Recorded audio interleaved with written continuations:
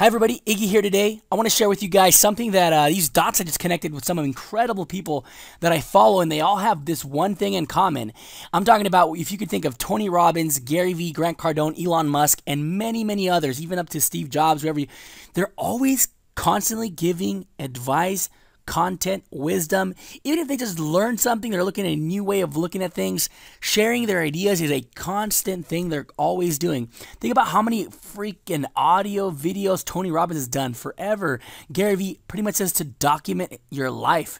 Grant Cardone is just throwing just a massive amount of action on this. And then even Elon Musk, this guy who's pretty much has over three multi-billion dollar companies. Is going to pretty much save humanity from extin- extinction if possible is even makes a time to to share his ideas and, and give us good value and insight. So i just want to share with you guys i'm glad i'm on on their side and i'm starting to share anything that crosses my mind is worth disseminating into the world